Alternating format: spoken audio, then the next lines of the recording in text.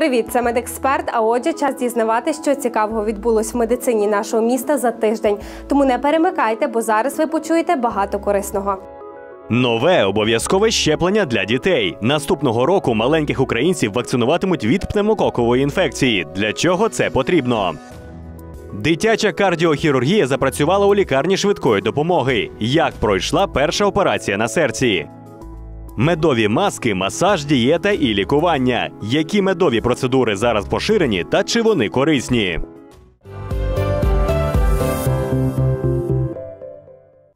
В Україні ввели ще одне обов'язкове щеплення для дітей. Воно захищає від пневмококової інфекції. Чим вона небезпечна, які захворювання викликає і чому від неї потрібно вакцинуватись? Відповіді на всі ці питання ми випитували у спеціалістів і вже готові вам розповісти. Кількість інфекцій, які існують у світі, навіть не перелічити. Але сьогодні від найбільш небезпечних можна захистити завдяки вакцинації, і однією з таких є пневмокок. Ми на сьогоднішній день в світі маємо е, 27 інфекцій, від яких е, можна захиститися шляхом вакцинації. І е, в світі дуже широко це використовують. Е, Кожна держава визначає, що вона спроможна. Е, Скажімо так, за державні кошти оплатити цю профілактику. В Україні є національний календар, який охоплює 10 інфекцій. Проте сюди поки що не входить щеплення від пневмококової інфекції. Зазначимо, що вона сьогодні є однією з найнебезпечніших, яку називають вбивцею номер один дітей у світі. Пневмокок це є е, серйозний агресивний мікроб, який викликає, починаючи від носійства. Наприклад, у дорослого ця хвороба може перебігати безсимптомно, тільки носійство в носоглотці, так? закінчуючи дуже тяжкими формами. У дітей та людей з пониженим імунітетом ця інфекція може викликати пневмонію, отит, гайморит та інші форми синуситів, а також менінгіт і навіть септичний стан. Серотипів, тобто підвидів цього мікроба, в ем, природі існує велика кількість різновидів. Їх існує понад 200, і не всі з них є е, високопатогенними. Тобто серед них є як більш лагідні мікроби, так і більш агресивні. Саме тому, щоб зменшити розповсюдження інфекції та створити імунітет, у світі вже понад 20 років широко використовують вакцинацію від пневмококової інфекції.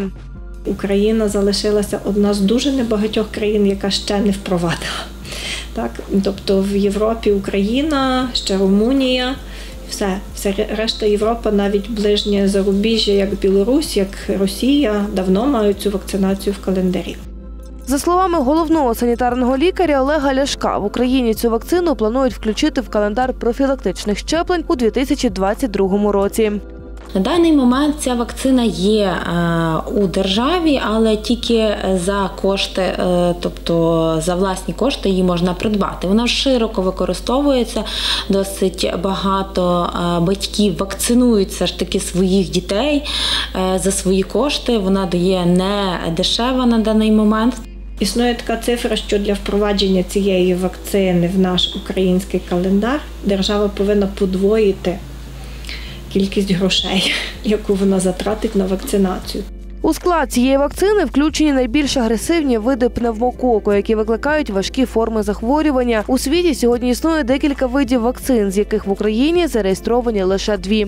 В залежності від віку, кількість доз, які потрібно отримати для досягнення повноцінного стійкого довготривалого імунітету, є різною.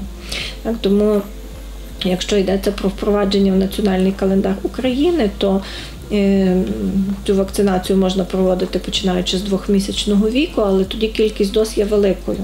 В інших країнах ця вакцинація є вже обов'язкова, і вони бачать е, вже показники захворюваності е, серед дітей від пневмококу е, є, е, ну, знизились. І ми хочемо також, щоб е, кожна дитина мала доступ, можливий ну, доступ до цієї вакцини, тому що не всі можуть собі дозволити цю вакцинацію. Важливу роль вакцинація від пневмококу відіграє і у період пандемії коронавірусу, оскільки може не допустити багатьох ускладнень, спричинених цим вірусом. Будь-який вірус, чи це коронавірус, чи це вірус грипу, чи навіть менш агресивний вірус, який живе в дихальних шляхах, він якби відкриває дорогу бактеріям. І бактерійні ускладнення на першому місці, з поміж яких стоїть пневмокок, часто доєднуються до перебігу вірусної інфекції. Якщо буде ускладнення пневмококом і буде пневмонія ще е, крім вірусної, так до- доєднається бактерійна флора, це є е, важчий перебіг захворювання, це є здовшення лікування, це є ну, можливість, е, скажімо так, мати ці ускладнення на все життя, а не дай Боже ще і смертельні закінчення. Ну тобто є більший ризик це отримати. Поки в Україні будуть впроваджувати імунізацію від пневмококової інфекції, лікарі наголошують на важливості вакцинації від тих, які вже включені в національний календар профілактичних щеплень. Мусимо робити щеплення. Інакше ми зустрінемося знову з кором, а потім з дифтерією, кашлюк, правець і тому подібні хвороби. Вони абсолютно не, не, не менший ризик несуть, ніж ковід, а навіть більший. Вакцинація не допомагає особисто тільки тій людині, яка вакцинується. Вона допомагає створити при деяких інфекціях є таке поняття як колективний імунітет, і це допомагає е, тим особам, яким не можна вакцинуватися, не захворіти і не мати цих ускладнень. Зазначимо, що в порівнянні з минулим роком вакцинація на території України зменшилась майже в два рази, а в деяких регіонах охоплення населення становить лише 10-12%.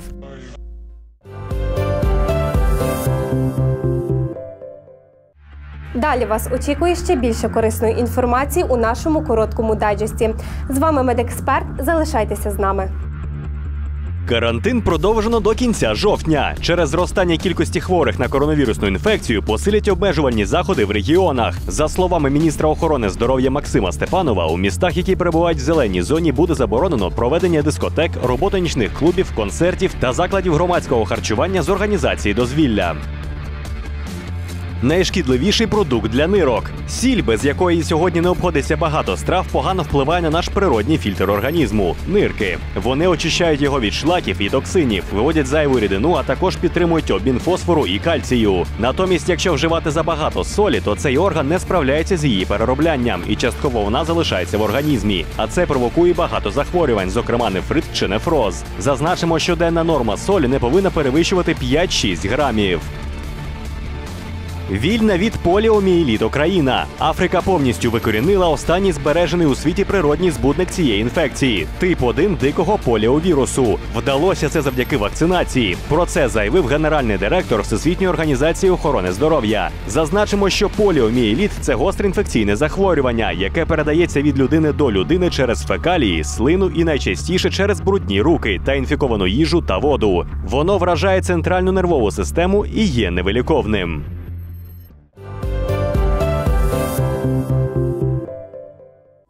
У Львівській лікарні швидкої допомоги відновили операції на серці діткам. Там запрацював напрямок дитячої кардіохірургії, і лікарі вже успішно виконали перші хірургічні втручання. Як працює новостворене відділення? Дивіться у сюжеті. Близько п'яти місяців назад у Львівській лікарні швидкої медичної допомоги запрацювало відділення кардіохірургії та трансплантації серця. І за цей період лікарі встигли не лише надати допомогу десяткам пацієнтів, але й успішно пересадити два серця. По е, кардіохірургії е, в нашій клініці відділенні виконується весь спектр кардіохірургічних операцій. Це є аортокоронарні шунтування, мамарно-коронарні шунтування, пластика та протезування клапанів, протезування висхідної аорти, видалення пухлин серця. Проте проблеми з серцем бувають не лише у дорослих. Тож у центрі запрацював ще один напрямок дитяча кардіохірургія. Багато батьків е, звертаються е, за, е, за такими ну, зі своїми дітками з вадами серця вродженими, і в Західній Україні немає ні одній кардіохірургічній е, клініці дитячого напрямка. Вони тільки змушені їхати в Київ.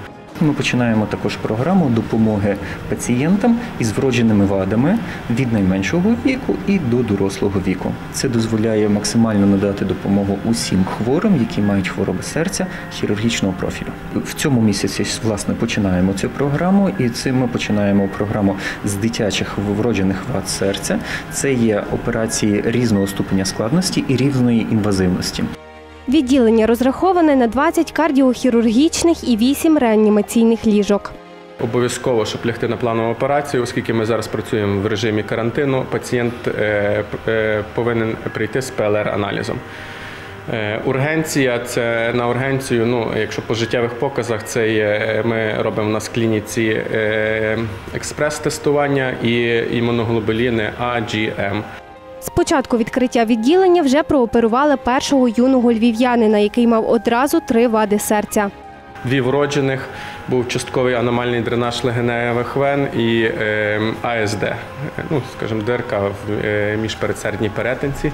Внаслідок цього в нього ще розвинулася недостатність на тристолковому клапані. Пацієнту була виконана корекція вади і пластика клапана. Минулого тижня ми виконали операцію зі звичайного доступу. Цього тижня це є з міні-доступу. Це означатиме, що пацієнт має вдвічі менший рубець, він має значно менше болю, він він може піти додому значно швидше. Наразі львівські лікарі оперують дітей раннього шкільного віку, проте згодом оперуватимуть і дошкільнят. Ми починаємо зараз з серця, які є середнього ступеня складності, але плануємо розширювати всю, всю проблематику і весь ступінь інвазивності. Е, Зараз ми почали з клапаних захворювань серця, з дефектів серця, з аномалій сполучення різних судин, які підходять до серця. Однак це не обмежується тільки цим цією кількістю патологій, оскільки взагалі кількість вроджених вад серця налічує мінімум 120 основних діагнозів.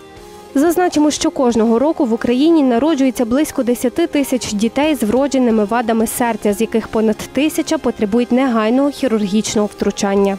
На жаль, немає відповіді, чому дитина має ваду серця. Ми розуміємо механізми, ми розуміємо, що треба зробити вчасно, ми розуміємо, які є наслідки, але ми не маємо остаточної відповіді, ну чому дитина захворіла. Щось сталося неправильно із формуванням серця, і в результаті чого якийсь може бути дефект. Додамо, що кардіохірургічні операції у лікарні швидкої допомоги заплановані вже на декілька тижнів вперед.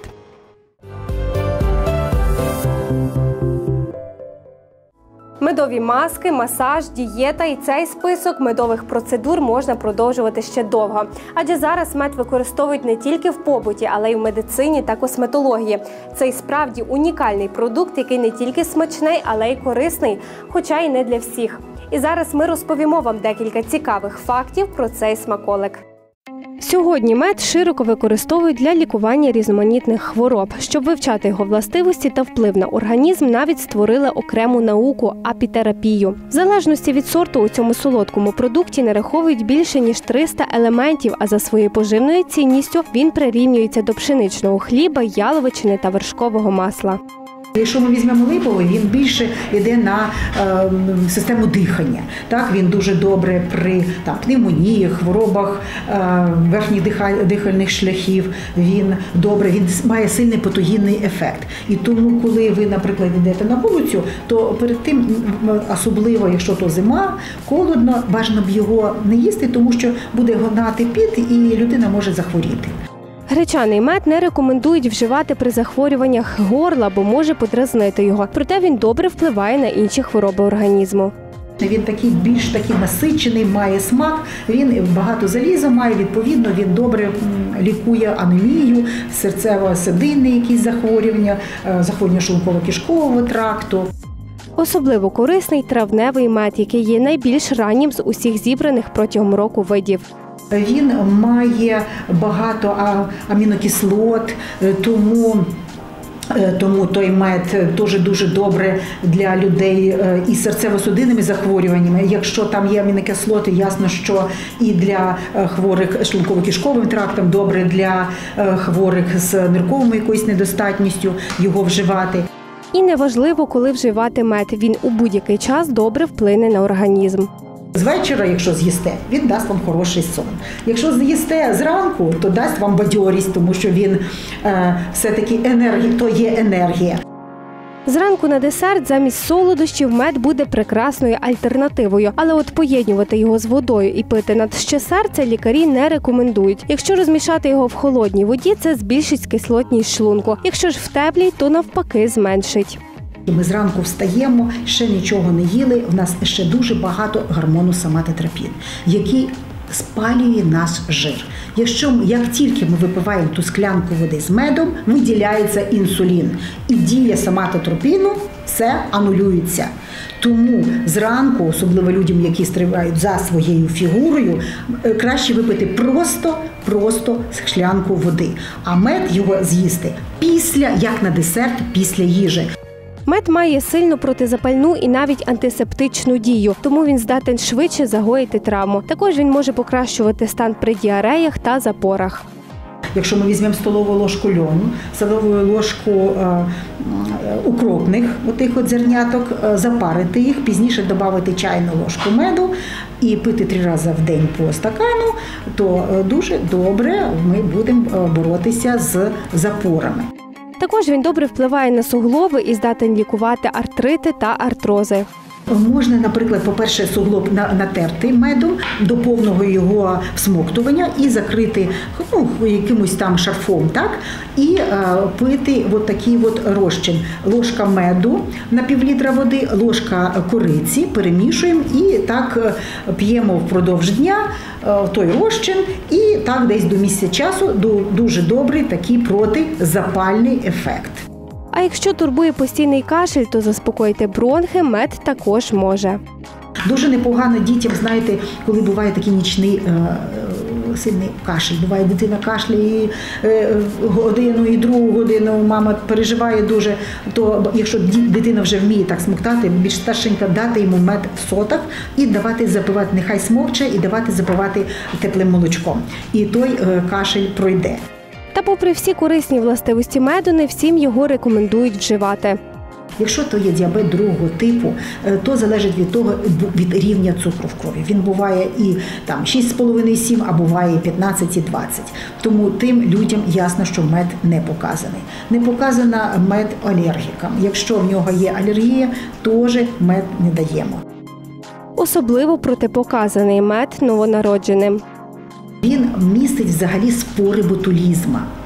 І дітям до 6 місяців це є просто приговор, тому що ці спори починають розвиватися в кишечнику дитини, виявляються токсини і е, наступає параліч м'язів дихальних.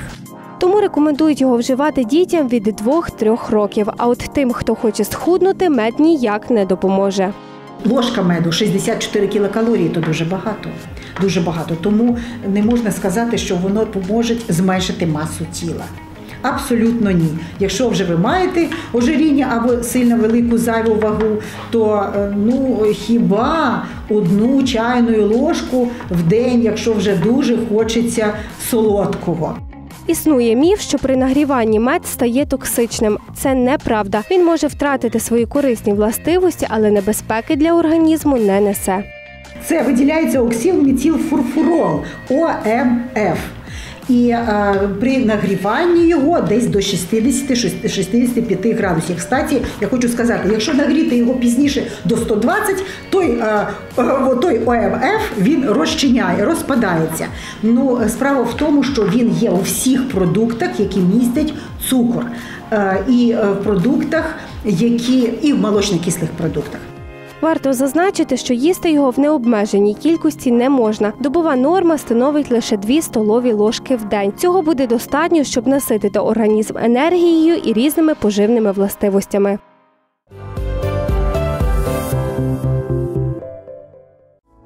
Ось такі новини ми сьогодні для вас підготували. Більше цікавого дивіться вже через тиждень у цей же час. З вами був медексперт. Бувайте!